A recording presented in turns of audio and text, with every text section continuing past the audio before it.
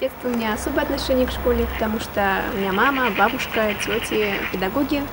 И в детстве очень много проводила времени вместе с ними на работе. И поэтому школа для меня особое родное место. С ним связано многое, говорит Амина Тимурзиева, выпускница школы номер 12 имени Чкалова. Школа стала вторым домом. До конца я вообще еще не представляю, что я закончила школу, что уже как бы не приду сюда в качестве ученицы, но с этим местом у меня связаны, наверное, самые такие теплые, лучшие воспоминания вот э, из старшей школы, из средней школы, потому что тут у меня появились настоящие друзья. И э, учителя, наставники — Здесь мечты воплотились в реальность благодаря стараниям самой Амины и, конечно, работе педагогов. Когда пришло время итоговой аттестации, девушка была уверена в своих силах и знаниях. Она долго, усердно готовилась к экзаменам, и результат оправдал ожидания. Все школьные предметы сданы с успехом, а русский язык и вовсе на все сто. Я шла к этой цели целый год и прикладывала много усилий для этого.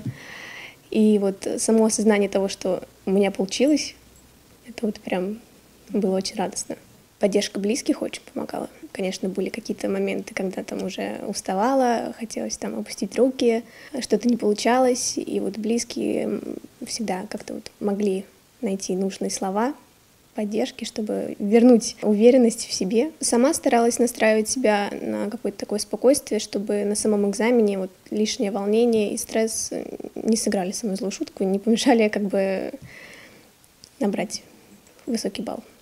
По словам Амины, экзамены – это не страшно, если к ним готовиться.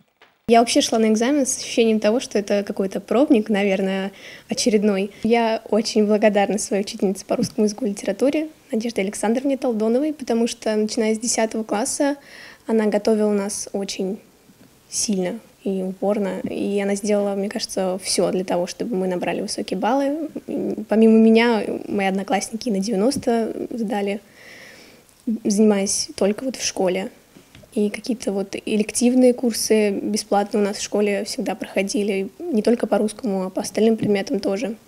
Амина – личность разносторонняя. В ее расписании всегда находилось время не только для школьных предметов, но и для творческой деятельности, а именно вокала. А вот выбор будущей профессии пал на экономику и управление. Именно в этой сфере девушка и планирует развиваться теперь, когда школьные годы позади, а дальше новый, важный жизненный этап – учеба в ВУЗе. На самом деле очень странно, что вот сегодня мы с вами снимаем интервью, а в школе пусто, никого нет, нет вечно бегающих детей, и несмотря на это все равно ощущается энергетика вот этой вот яркой, интересной жизни школьной, и хочется сюда возвращаться почаще. Анна Балиет, Сергей Василевский, Щелковское телевидение.